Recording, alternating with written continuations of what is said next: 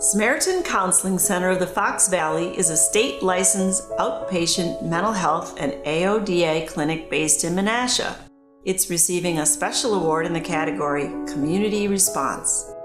The center developed its Connected Community Wellness Screen in response to a disproportionate rate of teen suicides and suicide attempts in the heart of the valley in 2009. This innovative teen suicide prevention program brings mental health checkups to kids at their schools and connects them with the mental health care they need.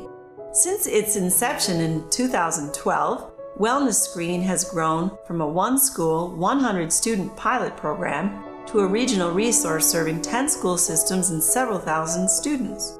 In fewer than five years, the program has screened more than 4,700 students, identified 1,190 with symptoms associated with suicide risk, and referred 924 for evaluation.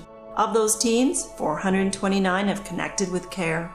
Several local businesses and organizations provided the seed money to launch the initiative, and many continue to contribute. School systems in their third or fourth year of the program averaged 37% participation, almost 10% higher than the national average for youth mental health screening. One parent whose son was helped through Samaritan's wellness screen said the program was in place when her child was ready to ask for help, saying, We are very proud of him for the progress he has made and feel we have our child back.